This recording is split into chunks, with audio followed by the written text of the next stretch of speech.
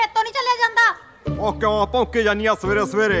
ਤੇਰੇ ਅੱਗੇ ਹੱਥ ਬੰਨੇ ਚੁੱਪ ਕਰ ਜਾ। ਹੁਣ ਤੂੰ ਮੈਨੂੰ ਚੁੱਪ ਕਰਾਉਣ ਨੂੰ ਫਿਰਦਾ ਹੈ। ਨਾ ਤੈਨੂੰ ਉਦੋਂ ਸ਼ਰਮ ਨਹੀਂ ਆਈ ਜਦੋਂ ਉਹਨਾਂ ਕੁੱਤੀਆਂ ਪਿੱਛੇ ਪੂੰਛ ਲਾਉਂਦਾ ਫਿਰਦਾ ਸੀ। ਸੱਚੀ ਮੈਂ ਨਾ ਤੰਗ ਆ ਗਿਆ ਤੇਰੇ ਤੋਂ। ਹੁਣ ਨਹੀਂ ਮੁੜਦੇ ਯਾਰ। ਭੌਂਕੀ ਜਾ। ਜੇ ਅਸਲੀ ਕੁੱਤੀ ਦਾ ਦੁੱਧ ਪੀਤਾ ਨਾ ਤਾਂ ਘਰ ਨਾ ਵੜੀ। ਮਰਜ਼ੀ ਟਰੱਕ ਥੱਲੇ ਆ ਕੇ। ਆਹੋ ਮਰ ਜਾਊਂਗਾ ਪਰ ਤੇਰੇ ਘੋਰਨੇ 'ਚ ਨਹੀਂ ਮੁੜਦਾ। ਪਤਾ ਤੈਨੂੰ ਉਦੋਂ ਲੱਗੂ ਜਦੋਂ ਇਹਦੇ ਕਤੂਰਿਆਂ ਦੇ ਸਿਰ ਤੋਂ ਕੁੱਤੇ ਪਿਓ ਦਾ ਸਾਇਆ ਚੱਕਿਆ ਗਿਆ। ਹਾਏ ਹਾਏ ਹਾਏ ਓਏ ਘਰੇ ਕੁੱਤੀ ਮੱਚੀ ਜਾਂਦੀ ਆ। ਇੱਥੇ ਪੈਰ ਮੱਚੀ ਜਾਂਦੇ ਨੇ। ਹਾਏ ਓਏ ਰੱਬਾ ਕੀ ਜੂਰ ਬਣਾਤੀ ਸਾਡੇ ਕੁੱਤਿਆਂ ਦੀ। ਨਜ਼ਾਰੇ ਤਾਂ ਬੰਦੇ ਲੈਂਦੇ ਨੇ। ਇਹਨਾਂ ਦੀਆਂ ਜਨਾਨੀਆਂ ਕਿੰਨੇ ਪਿਆਰ ਨਾਲ ਰਹਿੰਦੀਆਂ ਨੇ ਇਹਨਾਂ ਨਾਲ। ਤੇ ਸਾਡੇ ਵਾਲੀਆਂ ਮਰਜ਼ੀ ਟਰੱਕ ਥੱਲੇ ਆ ਕੇ। ਉਹ ਹਾਂ ਸੱਚ ਮੈਂ ਤਾਂ ਮਰਨਾ ਆਇਆ ਸੀ।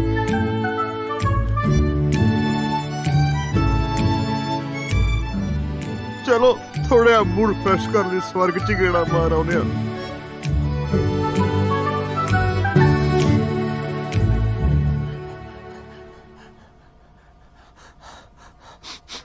ਖੁਸ਼ਬੂ? ਆਹ, ਪਕਵਾਨ ਬਣ ਰਹੇ ਨੇ ਓਏ। ਆਹ ਦੇਖ ਲਓ।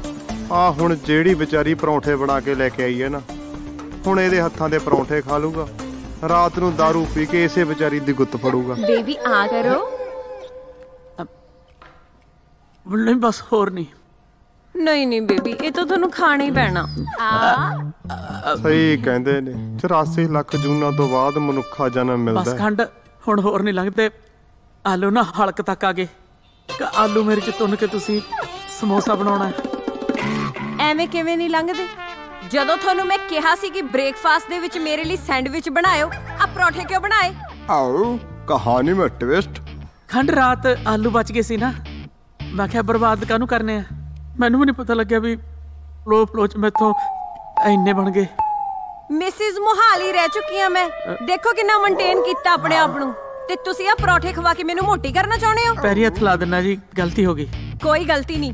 ਜਿਹੜੇ ਹੱਥਾਂ ਨਾਲ ਪਰੌਠੇ ਬਣਾਏ ਆ ਨਾ ਉਹਨਾਂ ਨਾਲ ਹੀ ਖਾਓ। ਜੇ ਉਹੀ ਹੱਥ ਜੋੜ ਕੇ ਮਾਫੀ ਮੰਗ ਲਾ ਫੇਰ। ਨੋ ਮੈਂ ਫੇਸ ਪੈਕ ਲਾਉਣ ਚੱਲੀ ਆ। ਮੇਰੇ ਆਉਂਦਿਆਂ ਨੂੰ ਮੈਨੂੰ ਆ ਪਲੇਟਾਂ ਖਾਲੀ ਚਾਹੀਦੀਆਂ ਨੇ। ਨਹੀਂ ਤਾਂ ਅੰਜਾਮ ਤੁਹਾਨੂੰ ਪਤਾ ਹੀ ਆ।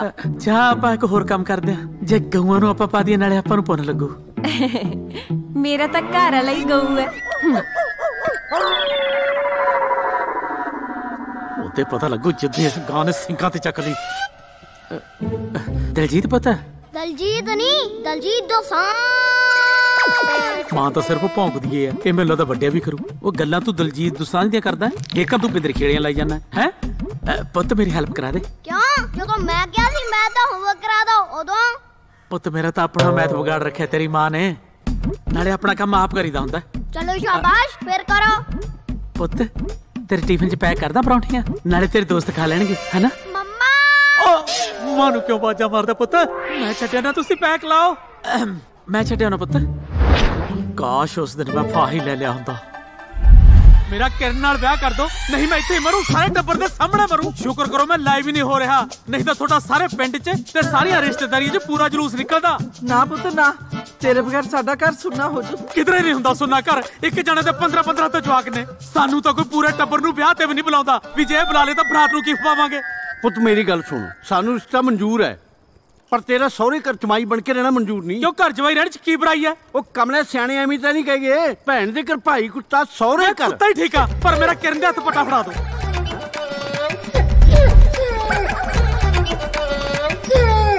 ਚਲੋ 100 ਚੋਂ ਇੱਕ ਅੱਧਾ ਕੇਸ ਤਾਂ ਖਰਾਬ ਨਿਕਲ ਹੀ ਆਉਂਦਾ। ਆ ਮੈਨੂੰ ਲੱਗਦਾ ਗਾਉਣ ਵਜਾਉਣ ਦੀ ਆਵਾਜ਼ ਉੱਪਰੋਂ ਆ ਰਹੀ ਆ। ਇੱਧਰ ਨੱਚਣੀਆਂ ਹੋਣੀਆਂ ਅਫਸਰਾਂ ਨੂੰ।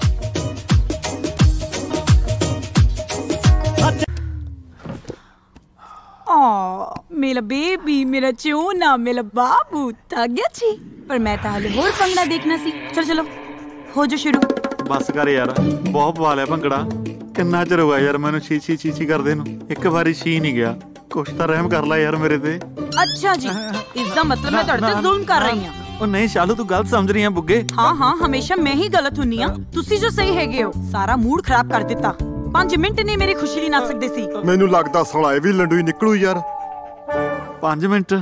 ਪੂਰੇ 2 ਘੰਟੇ ਹੋ ਗਏ। ਬਿਨਾਂ ਰੋਕੇ ਨੱਚ ਰਿਹਾ ਸ਼ਾਲੂ। ਵਾਹ ਹੁਣ ਤਾਂ ਟਾਈਮ ਵੀ ਗਿਣ ਗਿਣ ਕੇ ਕੱਟਿਆ ਜਾ ਰਿਹਾ ਮੇਰੇ ਨਾਲ। ਮੈਂ ਪੁਰਾਣੀ ਹੋ ਗਈ ਹਾਂ ਨਾ ਮੈਂ ਸਭ ਸਮਝ ਰਹੀ ਹਾਂ। ਤੁਹਾਡੇ ਵਰਗੇ ਮਰਦਾਂ ਦਾ ਇਤਿਹਾਸ ਗਵਾਹ ਹੈ। ਇੱਕ ਰਾਜੇ ਦੀਆਂ 100 100 ਰਾਣੀਆਂ ਹੁੰਦੀਆਂ ਸੀ। ਪਰ ਕਦੀ ਵੇਖਿਆ ਇੱਕ ਰਾਣੀ ਦੇ 100 100 ਘਰ ਵਾਲੇ ਹੋਣ? ਪਹਿਲਾਂ ਵਾਲੇ ਨੇ ਪਰੌਂਠੇ ਖਾਦੇ ਸੀ ਤੇ ਇਹ ਛੱਤਰ ਖਾਊ। ਝੂਠ ਤਾਂ ਤੁਹਾਡੇ ਸਰੀਰ 'ਚ ਖੂਨ ਤੋਂ ਵੱਧ ਰਚਿਆ ਹੋਇਆ ਵੈ। ਵਿਆਹ ਤੋਂ ਪਹਿਲੇ ਕੁਝ ਹੋਰ ਤੇ ਵਿਆਹ ਤੋਂ ਬਾਅਦ ਕੁਝ ਹੋਰ? ਤੁਹਾਨੂੰ ਯਾਦ ਵੀ ਹੈ? ਤੁਸੀਂ ਮੇਰੇ ਨਾਲ ਵਿਆਹ ਤੋਂ ਪਹਿਲੇ ਕੀ ਕੀ ਗੱਲਾਂ ਕੀਤੀਆਂ ਸੀ? ਕੀ ਰਮਾ ਕੀਤੀਆਂ ਨੇ ਮੈਂ?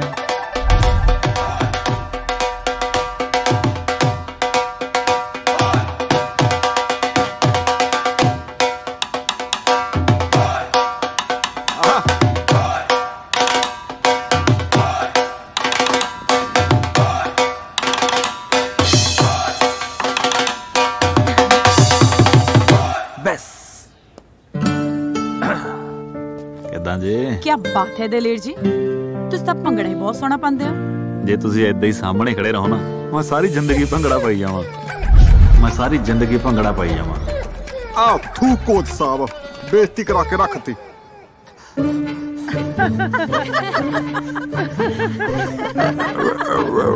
ਅੱਛਾ ਆ ਬੈਠੀਆਂ ਨੇ ਸਵਰਗ ਦੀਆਂ ਅਪਸਰਾਵਾਂ